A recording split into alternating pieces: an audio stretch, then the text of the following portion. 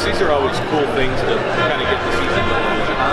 Yeah, it is. I mean, um, to, to have whatever 1,200 people here, um, and there's like little to no fanfare about it. Like, you don't see it being advertised.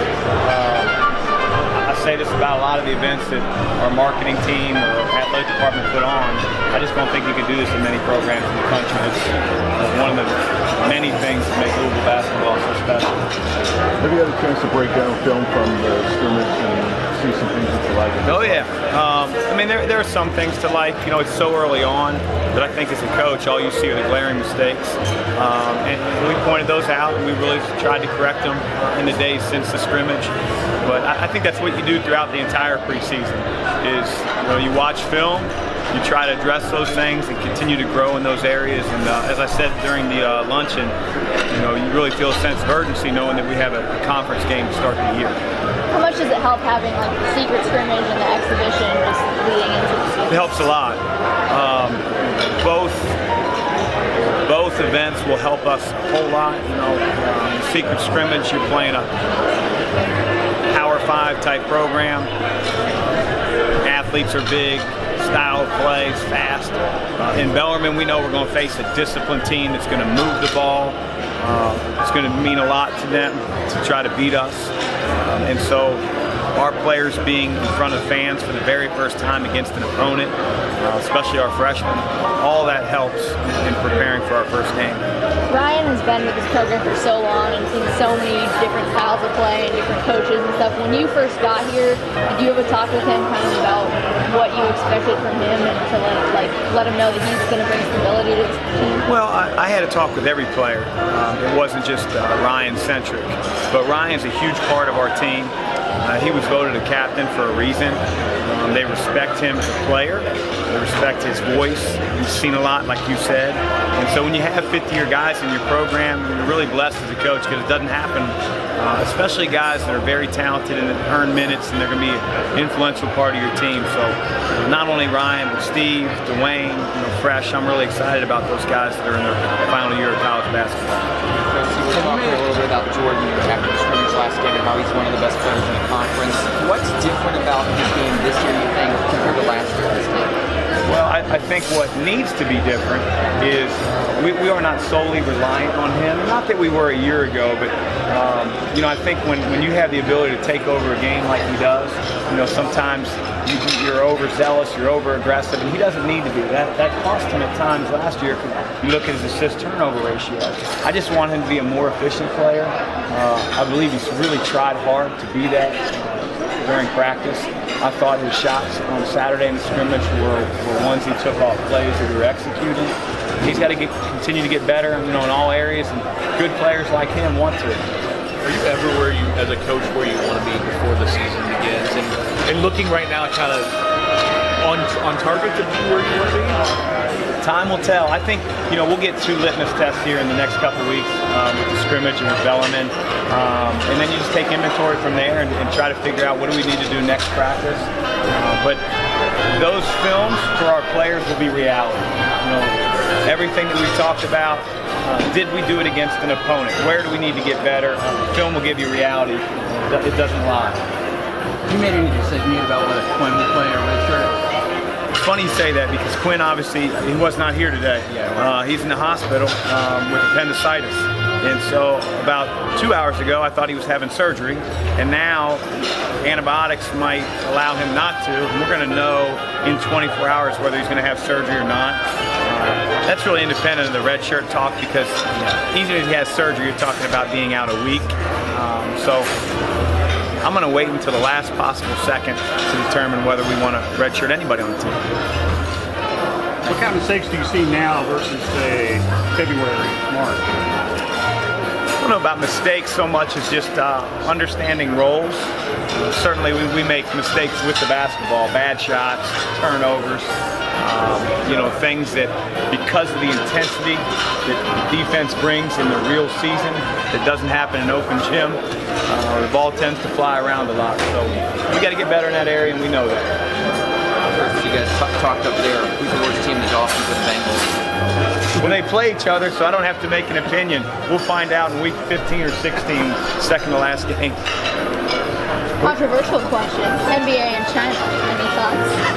Um, yeah, it's amazing to me that guys can speak openly uh, about everything under the sun um, except what's happening in China.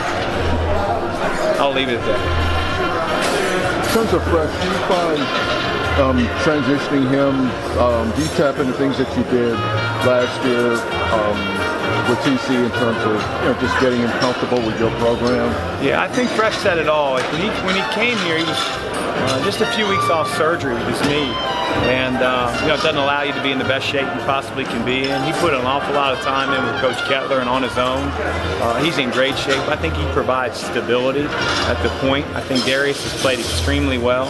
I got a tough decision to make because you know Darius I think has a higher ceiling, um, but Fresh at the same time you know provides some stability that maybe Darius doesn't. They're going to play both. They're both going to play a lot. It just depends on where and when and um, you know effective they are. How important is getting a point guard for this next recruiting class given that? It's always important. Yeah, recruiting's always important. So uh, we don't worry about the ones that we miss on because it happens every recruiting cycle, and uh, everybody loves to talk about those. But we're just going to continue to figure out you know ways that we can improve our team for next year through recruiting.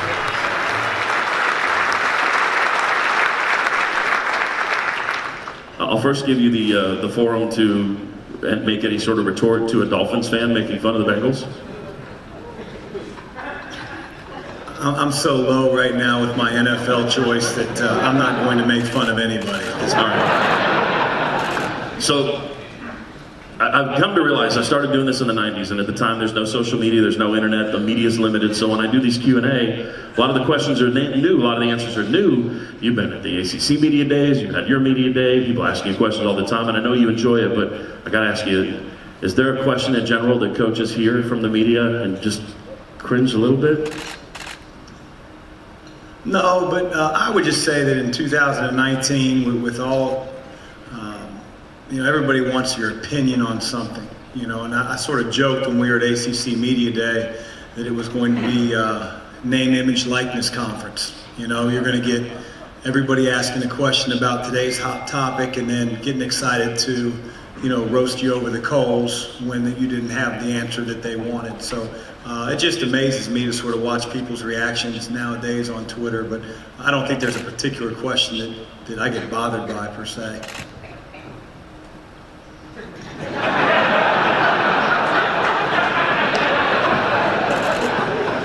Just kidding. I, that's a great observation. How about just a quick takeaway from your first year at Louisville? What, what stands out to you? This was a great season. I know it didn't end the way you guys wanted it to, but it was a great year. Uh, I think a few things that stick out to me are, are just the community. Um, you know, I didn't realize how vast uh, you know, Cardinal Nation was uh, and, until I started going to the football games in the beginning, and then just seeing the support that our guys had, uh, not just on campus but uh, around the country. You know, we played at Georgia Tech, and uh, there were more Cardinal fans than there were Georgia Tech fans, and that was something that um, I'll always remember my first year. I also remember uh, certainly our players and the ones that aren't here. Um, you know, our fifth year grad transfers and, and Akoy and Christen and, and Khwan. I thought uh, those guys came here with a uh, with a hope that they could be a part of, you know, sort of laying the foundation for trying to get through some things. And uh, I always remember those guys. Uh, they may not be the greatest players in, in Cardinal history, but uh, they meant a lot to these guys, certainly to our coaching staff. And that, that, that's some of the things I think about when I think about our first year. With your time at Xavier and even Evansville, you mentioned this a little bit. What's it like having a football team on campus? Uh, does it impact the, the game? Does it impact recruiting? Does it change things? Well, I guess I'd start by, by saying that, you know, my football experiences have been really bad here lately with the being a Bengals fan. And so I get to Louisville, and you know they proceed to lose eight games in a row, and, and, and coach gets let go. And I, I thought for a second, man, it's got to be me, because every football team that I begin to support just like crumbles. Um, so I've gotten to know Scott Satterfield. You know, we've gone to dinner a few times, and then I think he invited me a couple weeks ago to dinner, and I said, "I'm, I'm done, man. Like, I, you guys are on a roll. Like, leave me out of this. I just want to enjoy football." Um, but it's exciting. You know, I think whether it was the Notre Dame game, um, you know, certainly the Boston College game the other, you know, a couple weeks ago. Obviously, everybody's looking forward to this Saturday. Uh, I I just think that what coach is doing is special. Our recruits feel that when we walk from the from the parking lot at our tailgate to get our tickets. I can't tell you how many fans come up to our guys, uh, come up to the recruits, and, and, and that's special. You don't find that everywhere, and um, so it's been a great experience so far. I asked Malik about the second season and, and, kind of knowing expectations and how things work. What's been the biggest advantage for you and your staff where not everyone's new? Well, I think anytime that you're, um, you know, somewhere you want continuity, uh, to have as much experience returning uh, to our team, uh, think adds a whole lot. And I think from their standpoint, you know, being able to listen to the same assistant coaches, uh, being in the same strength program with the same coach, just the continuity from year one to year two. And as Malik sort of mentioned, uh, it's not just on the basketball court. It's not just terminology or plays or maybe the things that come to mind first, but it's just an overall way of doing things that I think our players, you know, hopefully find great comfort in. And the freshmen are learning, but they also can learn uh, from the upper class, and I've used these these lines before, and they're not mine. Uh, Tony Dungy calls it regenerative leadership, uh, where your older players uh, are really guys that can pass on how things should be done and even sometimes not necessarily a coach's terminology or the way we do things, but uh, just maybe a tip here or there on, on either end of the floor. And uh, our freshmen are benefiting because of it. And that was actually my next question because it fascinates me the regenerative leadership, uh, and, and, it's it's almost like a Big Brother program. Like you specifically assigned a player to a player, and I imagine you're seeing benefit from that immediately. I don't necessarily assign a player to a player. I think that uh, sort of evolves. Guys develop friendships, uh, kinships. You know, maybe it's a personality trait. Uh, maybe it's a guy at the same position, and now you see something that he does on the basketball floor, uh, or vice versa. You're a junior, you're a senior, you see something that the freshman did, and maybe you did a year ago, and you figured it out with the coach's help. Uh, and, and being able to have that type of leadership and that type of older voice on the court matters. And uh, we have that. It's not perfect by any means, and I don't expect it to be. Uh, but our hearts are in the right place, and we're going to get better because of that. What have you seen from the team so far? I know practice is limited, but you've been with the guys for a while with individuals and that. But what have you seen? Seen a lot of mistakes uh, that we have to correct. I have a greater sense of urgency knowing that we play uh, Miami, Florida, an ACC opponent in the first game of the year, which is uh, extremely strange, but uh, it is what it is. I would tell you that I also see a, great coachability with our guys. You know, I try to be very, and I hope they understand this and appreciate it. I think a lot of times it, it becomes they feel like they're getting criticized, but my job is to be uh, a truth teller and to give them the absolute truth as I see it. Now, they may not see it that way, but it, it's as I see it. And um, they just have to trust that I'm not trying to belittle them or do anything other than make them a better player. And the sooner a guy realizes that and sort of gets out of his own feelings and you know, not feeling sorry for himself and develop a thick skin and a next play mentality, the better player he'll become. And so, um, yeah, that's that's what I'm looking for. The world could use more truth tellers, no question about it. Is there a single ACC coach that says about that ACC opener, oh, that's a great way to open the season, I love it? Or is it pretty much a consensus like, you know, smile and wave and yeah, dude, that's the game we're going to play? It seems it, it, does seem odd, but I just wonder if anybody embraced it. It is odd. Um, I don't care what any other coaches in our league, you know, really think about it.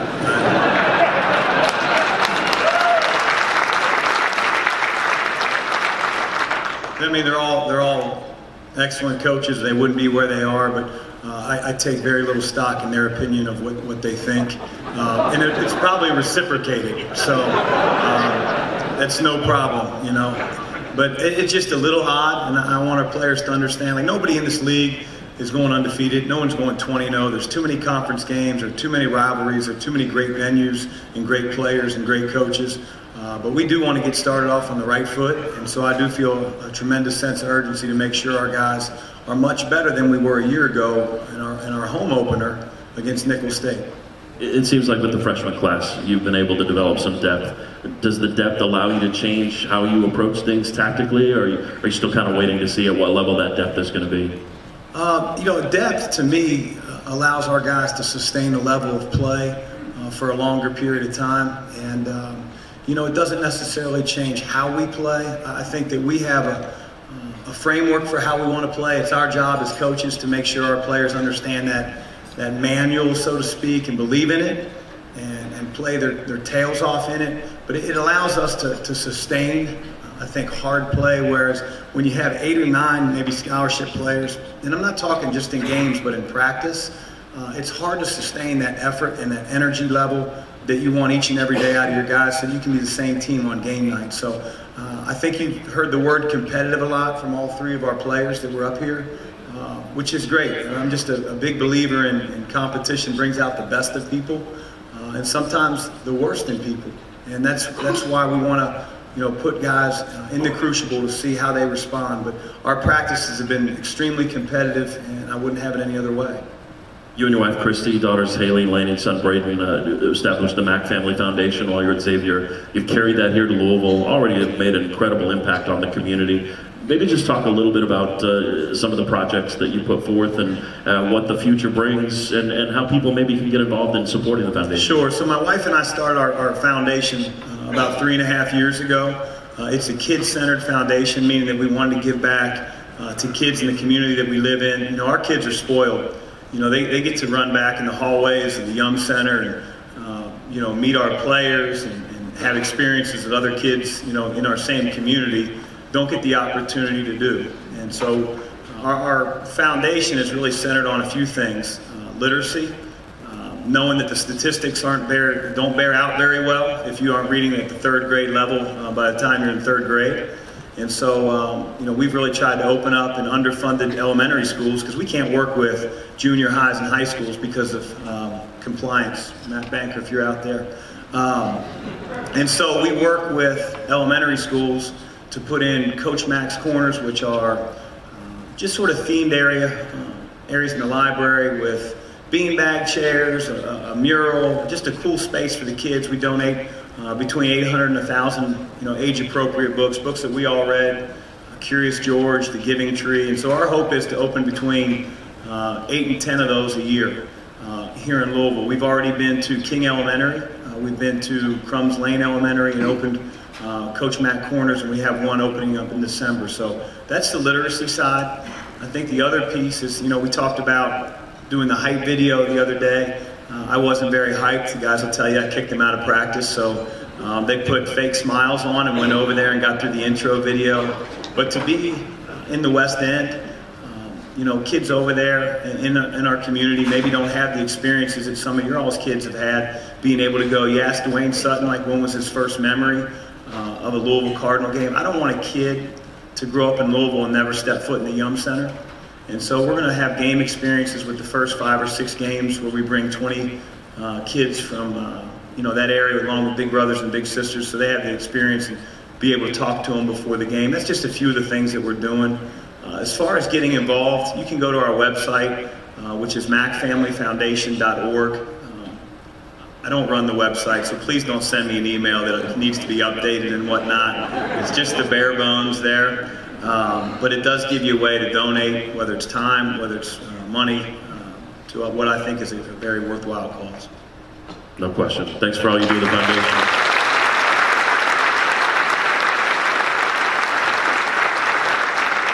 And thank you for all you do with the team. We're excited about you. We're excited about the expectations. We're excited about the team, and we're excited about that first exhibition against Bellarmine. We appreciate I'm your time, excited Coach. too. Go Cards. Thanks. Chris Mack, ladies and gentlemen.